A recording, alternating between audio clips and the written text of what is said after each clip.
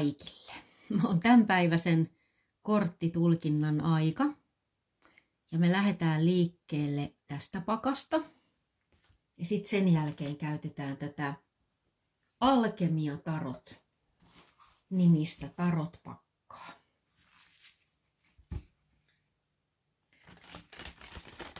Ja lähdetään liikkeelle.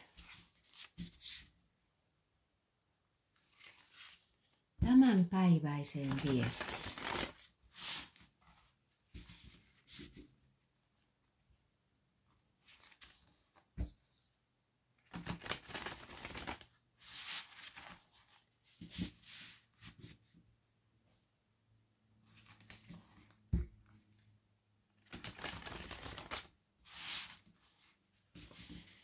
korkein voima, valo, Mikä on se viesti tähän hetkeen? Iloksi, valoksi, rakkaudeksi, opastukseksi, ohjaukseksi, neuvoksi. Ja meidän kaikkien korkeimmaksi parhaaksi. Kiitos.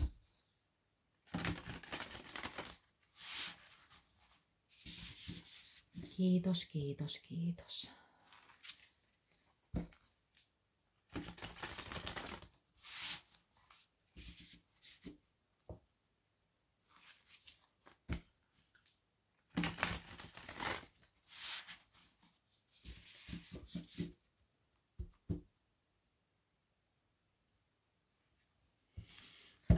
Siinä.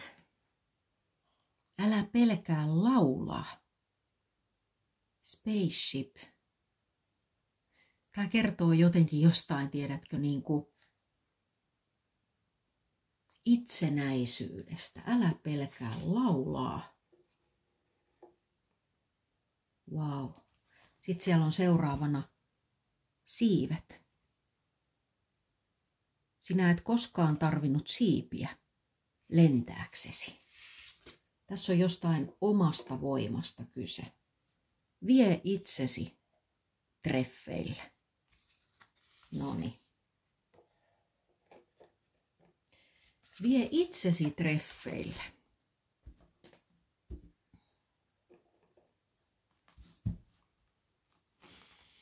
Wow. Sitten lisätietoa.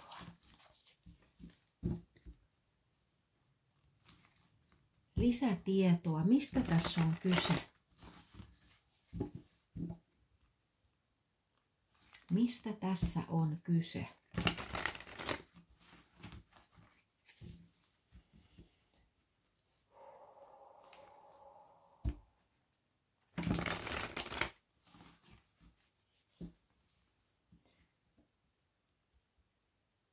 Sieltä. Maljojen kolmonen, sehän on tämä. Eikö ookin? Älä pelkää laulaa. Ihan selkeästi sama. Sama. Sitten siellä on miekkojen kakkonen. Lanttien seiska. Sauvojen vitonen, siellä on jotain muita ihmisiä. Sauvojen kakkonen ja sauvojen kolmonen. Ihana jatkumo, joo. Maljojen nelonen. Maljojen kymppi. Sauvojen kasi. Lanttien kakkonen. Sauvojen ritari. Siellä on valinta tehtävänä ja kuu. Joku hidastelee siellä, mutta sille on syy. Lähdetään katsoa tätä läpi. No niin. Ja sitten ennen kuin me lähdetään kattoon tätä meidän tulkintaa, niin pieni mainostauko. Eli valo tulee Pohjolasta messut on tulossa. Eli Ne ei ole nyt huomenna lauantaina, mutta sitä seuraavana lauantaina, eli 7.9. Ja ne on mietoisten maamiesseuran talolla. Eli kaikki sillä suunnalla asuvat, niin tulkaa ihmeessä mukaan. Siellä on luentoja, yhteisiä harjoitteita, siellä on iso määrä ihania näytteille asettajia, siellä on erilaisia vaihtoehtoisia hoitomuotoja, mitä siellä voi kokeilla, ja lipun hinta on vaan kympin. Kympin, eli kymppi aikuisilta, ja lapset pääsee mukaan ilmaiseksi. Siellä on ää, äh, hitsiläinen, muistaks mä nyt ulkoa. Siellä on luennoitsijoina ää, Mika Peltola, jossa käsitellään tunnelukkoyhteyttä, eli siellä käsitellään tunnelukkoja ja niiden yhteyttä henkiseen kasvuun ja niiden ylisukupolvisia vaikutteita. Sitten siellä on yrttitiedosta luento, yrttitieto itsehoidossa ja sitten yksi aihe oli jodinpuutos. Jodinpuutos globaali epidemia otsikolla.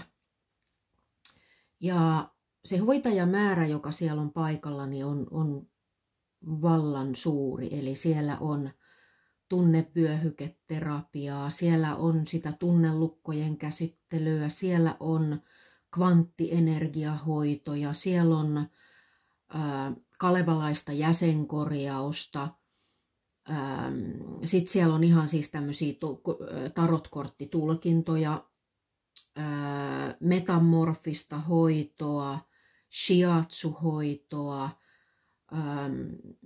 siellä on EFT-tapping esittelyssä.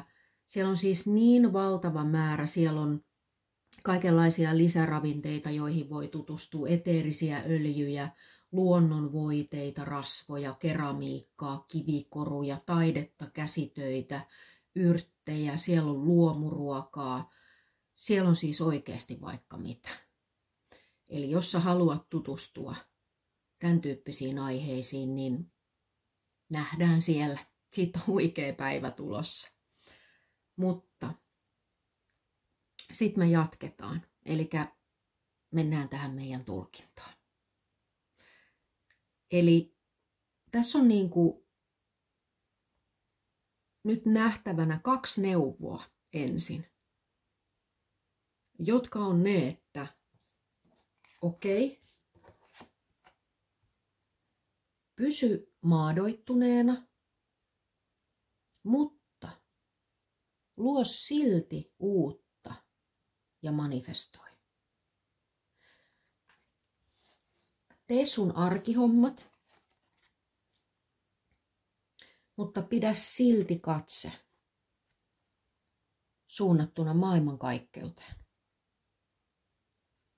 Ja täällä näkyy paljon, paljon, paljon liikettä ja muutosta nyt. Ja, ja, ja se on se juttu nyt. Nyt pysy fokusoituneena, pysy fokusoituneena. Eli Pysy linjassa sen kanssa, mitä sä haluat luoda. Älä pelkää laulaa sun omaa laulua. Sun siivet kantaa. Älä jää kiinni mihinkä pyörteisiin tai johonkin muiden ihmisten juttuihin, muihin ihmisiin. Mitä ikinä siellä tapahtuukaan. Älä jää niin kuin kiinni vaan pysy irti niistä asioista. Pysy maadottuneena. Ja sitten näkyy myös se, että sulla on täällä valinta tehtävänä. Jonkinlainen mahdollisuus. Sitä sulle täällä tarjotaan. Ja sitten täällä näkyy niin kuin taas tämä sama teema, mikä meillä on ollut aikaisemminkin. Eli joku hidastelee. Tästä on ollut aikaisemminkin puhetta. Oliko se jopa viime tulkinta vai sitä edellinen? Mutta joku e, on siellä niin kuin enten tentten. Joku hidastelee. se juttu on se, että sille on hyvä syy olemassa. Eli nyt on paljon tapahtumassa. Ihmiset käy kaikenlaista läpi tällä hetkellä, mutta älä jää siihen kiinni. Eli pysy mahdoittuneena ja fokusoituneena sun omaan juttuun. Ja täällä on jokin uusi, autenttinen alku.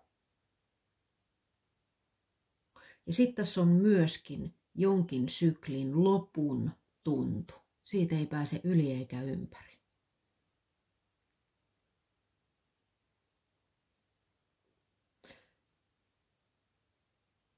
Joku teistä siirretään pois jostain tilanteesta, joka on niin kuin mennyt liian fyysisesti tai, tai taloudellisesti, jotain tämän tyyppistä, niin kuin liian jotenkin yhteen kietoutuneeksi. Tai sitten siellä on joku niin kuin liian iso solmu syntynyt, jotain tämän tyyppistä. Joku teistä niin kuin siirretään siitä pois, koska on aika. Eli aika on, niin kuin, aika on kulkenut jo tämän ohi. Sen aika on jo tullut. Sä siirryt eteenpäin ja sulla on kaikki, mitä sä tarvit. Jossain ei ole enää mitään opittavaa tai tehtävää. Ja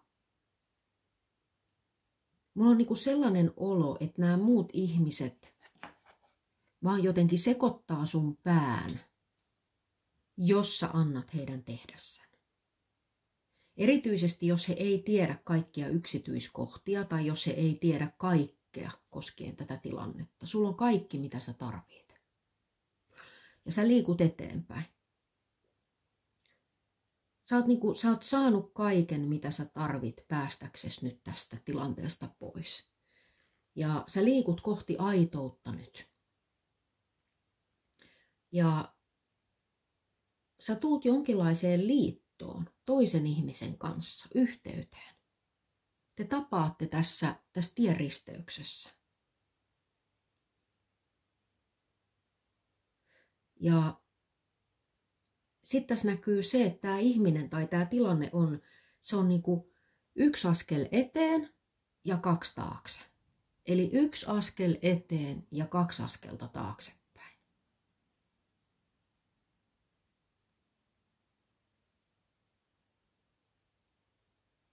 Eli tämä ihminen, jonka kanssa sä tuut kohtaamaan tässä tienristeyksessä –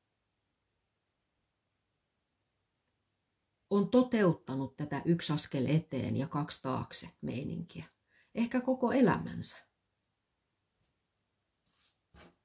Hän ei niinku tiedä mistään muusta. Se on vähän niin kuin tämän näköistä. Se tuntuu hänestä jollain lailla normaalilta.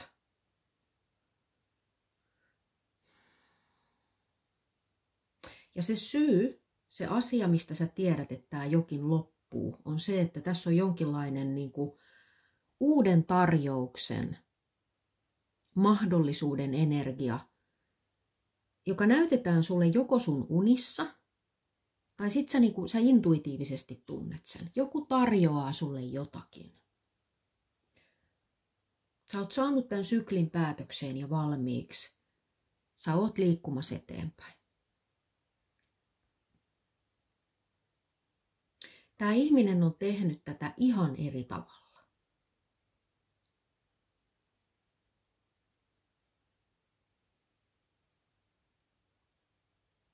Hän on tuntenut olevansa voimaantunut niin kuin liikkumaan. Ja sitten hän onkin pidättäytynyt. Hän on ollut niin kuin valmis liikkumaan ja sitten hän on pysähtynyt. Mulla on sellainen olo, että, että tämä ihminen on tekemisissä syyllisyyden kanssa. Ja sitten, että, että tähän liittyy niin kuin muita ihmisiä jotkut muut ihmiset saa hänet kokeen syyllisyyttä koskien sitä, kuka hän on, tai jotain sen tyyppistä, että et ei tämän ihmisen pitäisi tehdä sitä, mitä hän haluaisi tehdä. Tai mitä hän kokee olevansa täällä tekemässä, tai jotain tämän tyyppistä. Että jonkinlainen niin kuin syyllisyys täällä on. Ja hän ei ole työstänyt sitä. Sehän on niin, että se tapa, millä syyllisyyden saa pois, on tehdä kaikki, kaikki linjassa sen kanssa, kuka sinä todella olet. Mä näytän näin, koska tähän tulee niin kuin sellainen totuuden miekka, jonka kahvasta otetaan kiinni. Ja osa esimerkiksi kaikenlaisista perheiden odotuksista tai muiden ihmisten manipuloinneista tai vastaavista, jos joku kertoo meille, mitä me ollaan täällä tekemässä ja mitä ei, mikä on oikein, missä me toimitaan oikein, missä me toimitaan väärin. Jos joku ohjailee meitä niin kuin siihen suuntaan kuin hän haluaa, niin kuin siitä pois päästäksemme niin kuin meidän on niin kuin hoidettava, parannettava tämä asia sillä, että me tullaan aidoiksi itseiksi. Aito minä. Koska kun me ollaan täysin linjassa sen kanssa, keitä me ollaan, ja me tehdään sitä, mitä me ollaan täällä tekemässä, niin sillä, mitä muut sanoo, tai mikä muiden ajatus siitä meidän tekemisestä on, niin se jää vain ja ainoastaan niiden muiden mielipiteeksi.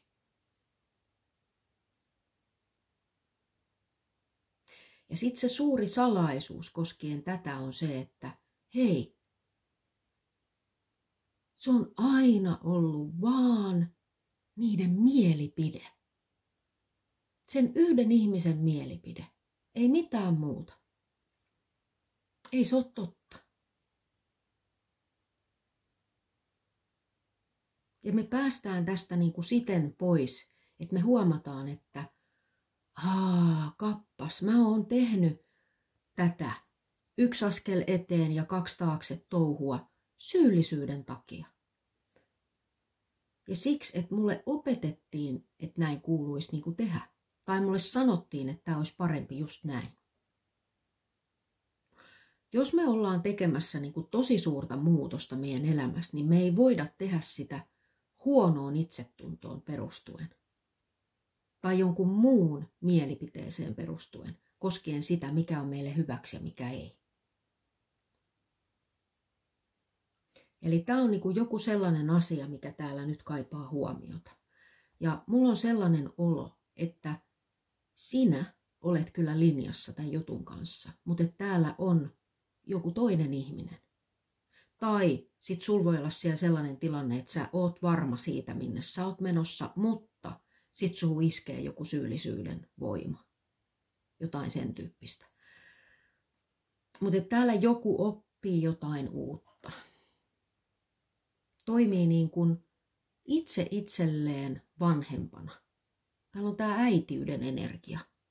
Ja, ja täällä, että vie, vie oma itsesi treffeille. Mutta tämä vie aikaa.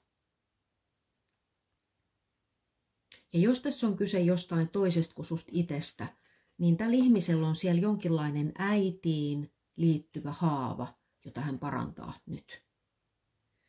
Ja tästä tulee sellainen fiilis, että joko sinä tai tämä toinen ihminen oppii jonkinlaisia uusia taitoja ja kykyjä tässä nyt. Siellä on voinut olla äiti, joka on saanut sut tai tämän ihmisen aina kokemaan syyllisyyttä.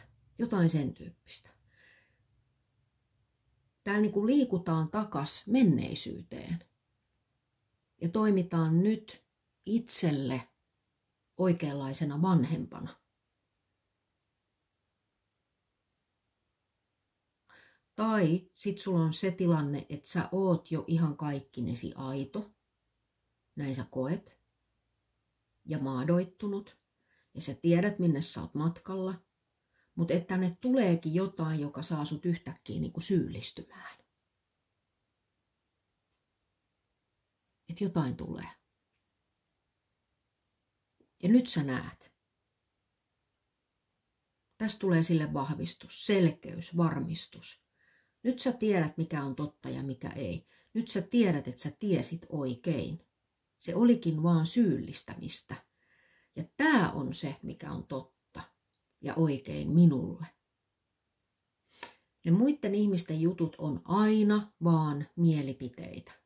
Ei mitään muuta.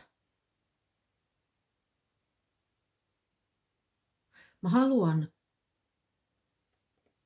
itsenäisyyden, omavoimaisuuden.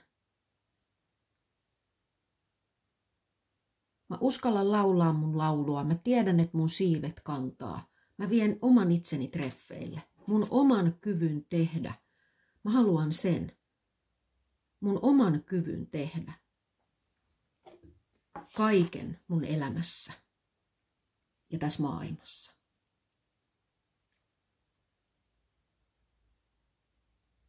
Tämä on siis elämää muuttava totuus. Ja tämän kanssa tätä täytyy työstää jonkin aikaa, kyllä. Tämä on asia, joka siirtää sinua, joka liikuttaa, joka vie sua eteenpäin sun elämässä.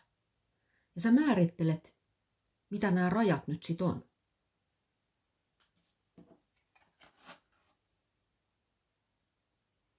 Jos sulla on aiemmin ollut sellainen olo, että et sä tiedä, mikä enää on niinku totta.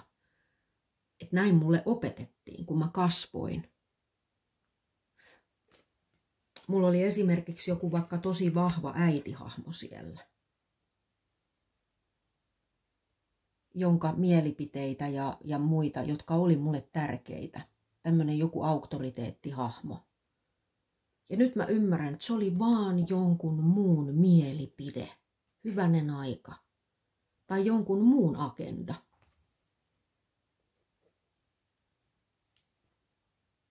Ja nyt mun täytyy niin kuin uudelleen kalibroida mun koko maailma. Mun täytyy yrittää ymmärtää tämä asia. Ja tämä transformaatio vaatii työtä. Sun on totuttava tähän. Tämä on aivan uusi maailma sulle. Mutta tämä on se, joka vie sua eteenpäin. Ja nyt sä tarvit selkeyttä ja mulla on sellainen olo, että nyt sä niinku todella saavutat sen selkeyden, sellaisen tsekkauksen, että hetkinen, missä mä meen? Niin, että et sä laita sitä jotakin auktoriteettia tai jonkun oman mielipiteen antajaa millekään niin kuin korokkeelle enää. Ja tässä on se muutos. Sä otat niin kuin sun oman itsenäisyyden takas. Ja laajennettuun me mennään kattoon tätä lisää niin, että me sillä tavalla, että me mennään kattoon tätä niin kuin tälle toiselle ihmiselle. Me tehdään tälle toiselle ihmiselle nyt tässä tulkinta. Tälle, joka hidastelee jonkun takia. No olit se sitten sinä tai tämä toinen, mutta mulla on sellainen olo, että osalle teistä tässä on kyse siitä, että tämä toinen ihminen hidastelee ja sä oot se, joka odottaa.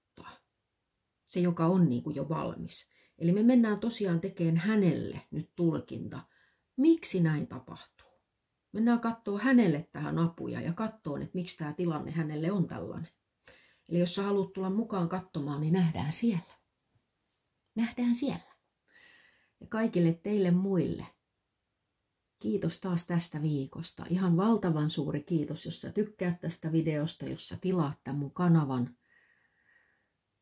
Ja kaikkein suurin kiitos sinulle, ihana rakas valo, siitä, että sinä olet siellä. Olet ihan valtavan rakas. Ihanaa, ihanaa viikonloppua. Nähdään laajennetustulkinnassa tai sitten me nähdään viimeistään maanantaina. Moikka! thank you